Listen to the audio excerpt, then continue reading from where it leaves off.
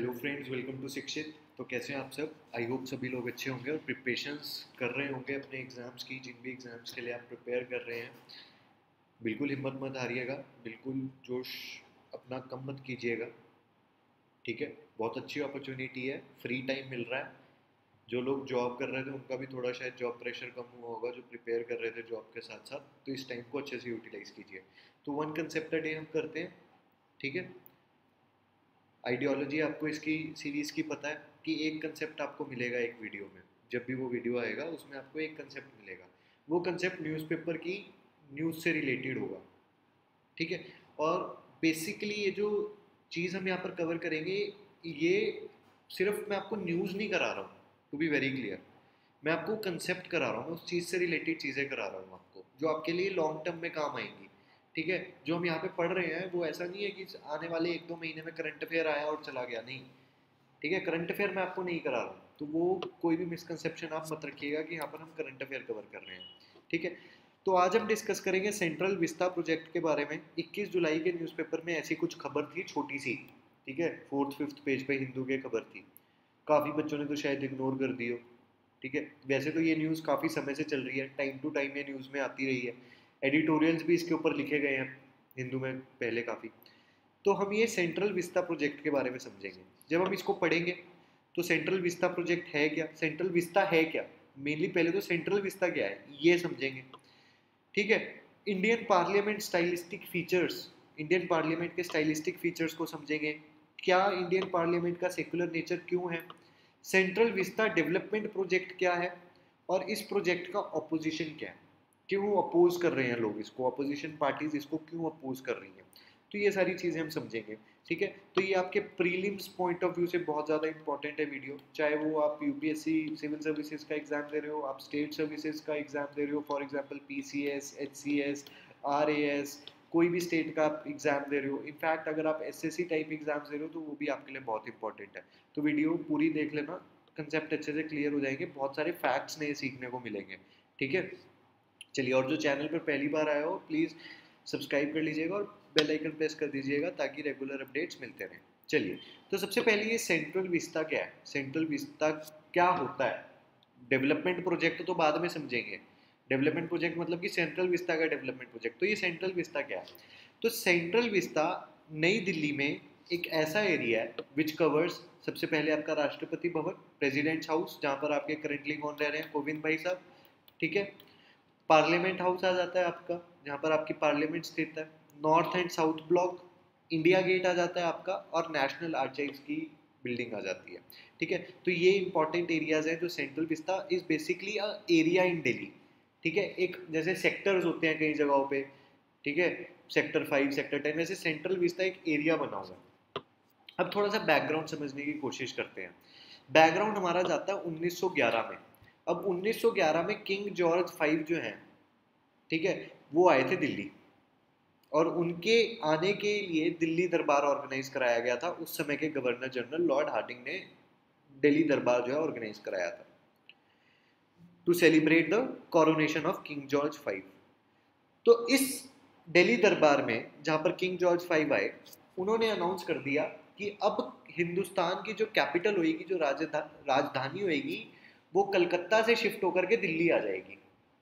पहले कलकत्ता में राजधानी होती थी। ठीक है? तो इस अनाउंसमेंट के साथ एक नई सिटी एक नया ऐसा रीजन जहाँ, देखो कैपिटल है जहाँ पर, वहाँ पर पार्लियामेंट भी ज़रूरी है प्रेसिडेंट के रहने की जगह भी चाहिए, सब कुछ है। ठीक है?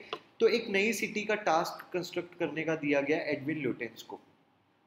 ल्यूटेंस भाई साहब he is well known for your you know European classicism और साथ ही हर्बर्ट बेकर अब ये जो दोनों लोग थे ना ये समझते थे जो इंडियन स्टाइल ऑफ़ आर्किटेक्चर है दैट इज़ कम्प्लीटली फुलिश ठीक है, उसमें कुछ दम नहीं है। And they both believed in European style of architecture ठीक है हर्बर्ट बेकर साहब जो हैं साउथ अफ्रीका के प्रोमिनेंट आर्किटेक्ट थे। इनफैक्ट जो यूनियन बिल्डिंग है प्रेटोरिया में साउथ अफ्रीका में, वो आपके हर्बर्ट बेकर ने ही बनाई है।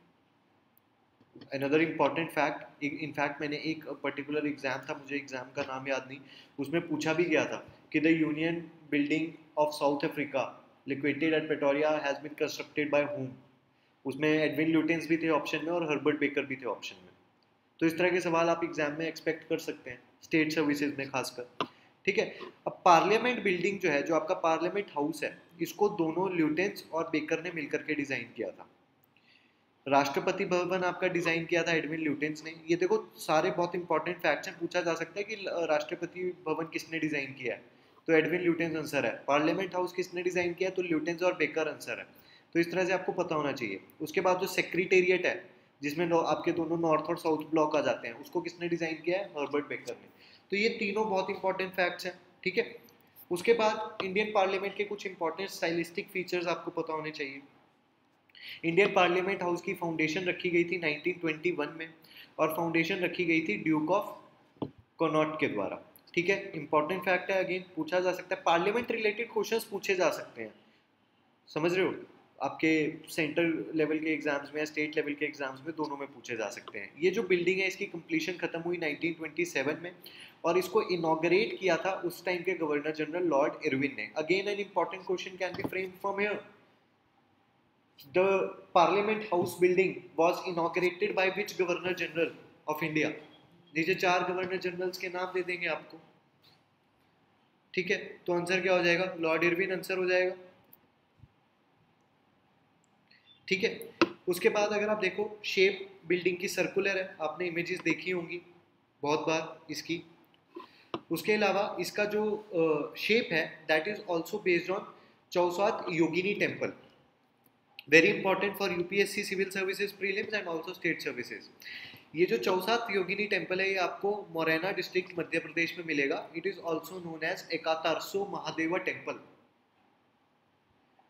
all right very important fact अब आप अगर पार्लियामेंट हाउस देखो तो इसमें एक सेंट्रल चैम्बर है।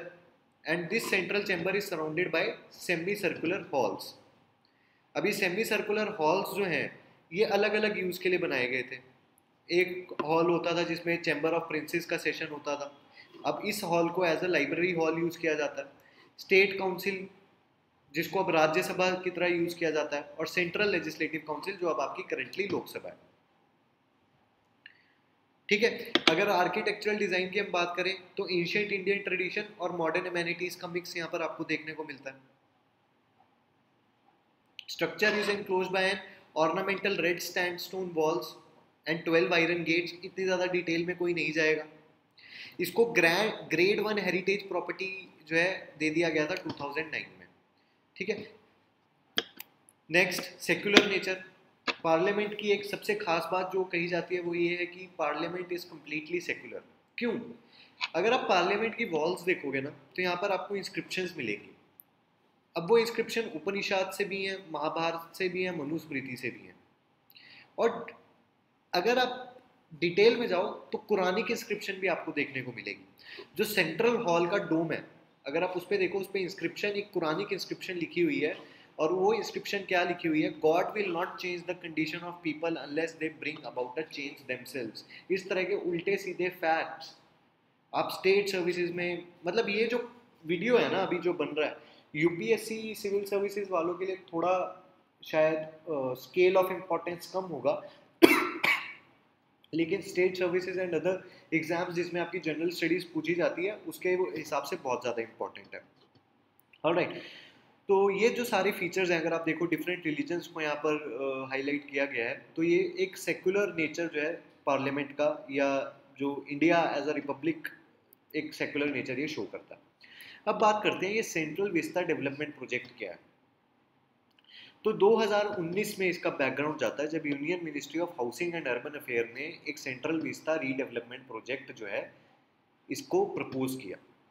अब ये प्रोजेक्ट क्या कहता है? प्रोजेक्ट बात करता है कंस्ट्रक्ट करने की अ ट्रायंगुलर पार्लियामेंट बिल्डिंग एक नई ट्रायंगुलर पार्लियामेंट बिल्डिंग कंस्ट्रक्ट करने की बात कर रहा है। Don't confuse it with renovation ये रेनोवेट करने की बात नहीं कर रहे, ये एक नई बिल्डिंग कंस्ट्रक्ट करने की बात कर रहे हैं।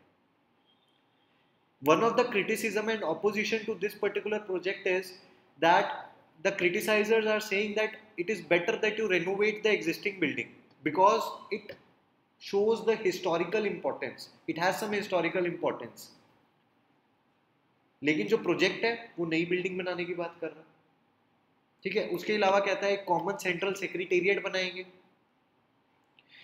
जो राजपथ है उसको रेनोवेट करेंगे नॉर्थ और साउथ ब्लॉक को म्यूज़ियम में कन्वर्ट कर दिया जाएगा। ब्रीफली ये प्रोजेक्ट है। बहुत ज़्यादा डिटेल में हमें इसको जाने की ज़रूरत नहीं है। अब गवर्नमेंट क्या आर्गूमेंट देती है इस प्रोजेक्ट के लिए? गवर्नमेंट कहती है, देखो भैया, एक तो जो करंट फैसिलिटीज़ और इंफ्रास्ट्रक्चर है, वो इनएडिक्वेट है डिमांड मीट करने के लिए। ठीक है? 2026 में इट इज़ एक्सपेक्टेड देखो अभी तो सीलिंग लगी हुई है। 1971 में लगा दिया गया था कि पॉपुलेशन के हिसाब से 545 ही सीट्स रहेंगी। लोकसभा की 552 ठीक है, जो भी है। अभी करेंटली 545 है। तो अब पॉपुलेशन चेंज होगा जब 2026 में ये हट जाएगी। उसके बाद सीट्स बढ़ जाएँगी लोकसभा की और अभी लोकसभा और राज्यसभा में जो सीटिंग कैपेसिटी है दैट इज़ फुल अगर नंबर ऑफ़ सीट्स आप लोकसभा और राज्यसभा में इंक्रीज करते हो तो फिर लोगों को बिठाने की जगह ही नहीं मिलेगी। फिर आपको आधे आधे करके बुलाने पड़ेंगे लोकसभा और राज्यसभा वाले। ठीक है?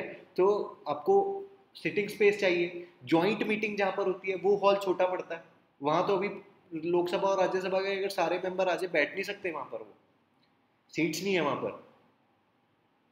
अब आप सीढ़ियों में, पोड़ियों में थोड़ी बिठाओगे वो जो लोकसभा और राज्यसभा की पोड़ियाँ है, वहाँ पर थोड़ी आप बिठाओगे एम को है ना? तो इसी वजह से इंफ्रास्ट्रक्चर इनएडिक्वेट है। दूसरा रीज़न सेंट्रल गवर्नमेंट क्या देती है कि अगर आप अभी ये सेंट्रल विस्ता वाला सारा एरिया देखो ना ऑफ़िस बहुत ज़्यादा स्प्रेड है इधर उधर तो सेंट्रल गवर्नमेंट कहती है, इससे इंटर डिपार्टमेंटल कोऑर्डिनेशन में बड़ी प्रॉब्लम आती है। ठीक है? इधर से उधर जाने के लिए गाड़ी में बैठ के दस मिनट की ड्राइव पे जाना पड़ता है। तो उससे अच्छा ये है कि एक ही जगह पे सब कुछ हो। तो काम भी फास्ट हो जाएगा और कोऑर्डिनेशन भी अच्छी हो जाएगी। तीसरा चीज़ ये कहते हैं कि देखो भैया, कोई भी आर्किटेक्चरल बिल्डिंग है, कोई भी आर्किटेक्चरल स्ट्रक्चर है, उसकी लाइफ होती है। और जो ये स्ट्रक्चर्स हैं, ये they have already outlive their life so it is the requirement कि एक नई बिल्डिंग बनाई जाए. As it can cause security risk for the member of parliament and the staff working there अब बात करते हैं प्रोजेक्ट कॉस्ट की. दो गवर्नमेंट ने पब्लिकली अभी तक इसकी कोई एस्टिमेशन दी नहीं है. लेकिन जो सी पी डब्ल्यू डी की एप्लीकेशन है, जो इन्वायरमेंट क्लियरेंसेज के लिए उन्होंने रखी थी, उसके हिसाब से पार्लियामेंट बिल्डिंग का जो अराउंड खर्चा आएगा that is 922 crore rupees no no one is going to ask this but let us see what is the opposition पहले तो ऑपोजिशन में आपके कौन कौन आ जाते हैं? एक तो जो भी पार्टीज़ हैं ऑपोजिशन में, ठीक है? एनवायरमेंट वाले आ गए आर्किटेक्ट आ गए और सिटीजन भी आ गए। सबने अपने अपने कंसर्न्स रखे हैं, ठीक है? कोरोना के टाइम पे भी बड़ा ये चर्चा में रहा सबसे पहले तो कहते हैं कि भैया, आपकी क्या स्टडीज़ आपने पूरी की हैं? कहते हैं there are lack of studies ठीक है? You are not studying it properly that what will be the impact of such building on the environment on traffic in Delhi on pollution in Delhi other thing uh, the criticizers are highlighting is that parliament के जो proposal था उसकी building के लिए जो proposal था उसमें काफ़ी सारे अप्रूवल्स अभी लॉकडाउन के समय हो गए। तो कह रहे हैं भैया लॉकडाउन के समय तुम्हें इतनी क्या जल्दी लगी थी? कोरोना चल रहा है देश में लॉकडाउन चल रहा है। तुम्हें अभी क्या अप्रूव करने की जल्दी थी? तो यहाँ पर ट्रांसपेरेंसी के एलिगेशन आ गए अब। कि why there is no transparency why you are you know approving the project in a manner अगर सत्तर साल से वो खड़ा है बिल्डिंग तो अभी तीन महीने, चार महीने में क्या हो जाता भैया? तुम्हें अभी अप्रूव करना है सब कुछ।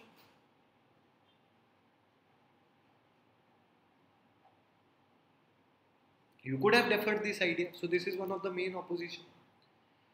अब criticizers have also suggested that it is better that you renovate the current building okay we have accepted that there there the present infrastructure is inadequate are security risk then why don't you go for renovation अब जब भी आपका घर दस साल पुराना हो जाता है तो आप क्या नया घर ले लेते हो जाकर? रेनोवेट करते हो ना उसको। आपके घर में पाइप में पानी का प्रॉब्लम हो गया तो पूरा पाइपिंग सिस्टम चेंज करा दोगे क्या? उस पाइप को रिपेयर कराने की कोशिश करोगे? और अगर उसको चेंज भी कराना पड़ा you will do what you will just you know replace that particular pipe जिसमें प्रॉब्लम है। ठीक है? तो ये कहते हैं रेनोवेट करना चाहिए। रीजन उसके अलग अलग है कि सबसे पहले तो सिंबॉलिक वैल्यू है करंट पार्लियामेंट की। It highlights the spirit of Indian democracy यहीं पर तो कॉन्स्टिट्यूशन लिखा गया था। ठीक है? ये इंडिया के लोगों की नेशनल कॉन्शियसनेस में बिल्डिंग इस्टेब्लिश हो चुकी है। डेमोक्रेटिक वैल्यूज़ को रिप्रेजेंट करती है। और दूसरी चीज़ जो आप कह रहे हो कि outlived it is just seventy years sorry not same या it is around if you calculate it is around ninety years all right so okay now they give the example of Capitol building of U S it was built in eighteen hundred around two hundred and twenty years old so is it necessary that if you, uh, you are judging the you know importance of the building or you are judging the strong strength of building on its age no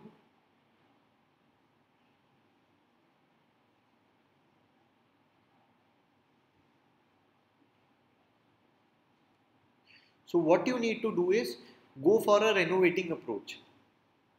It will be a wiser option and it will save the government a lot of money. Okay. Now this was the news that was there in 21st July's newspaper. Now this is the case in Supreme Court. Now Supreme Court asked CPWD that why do you want to construct a new building?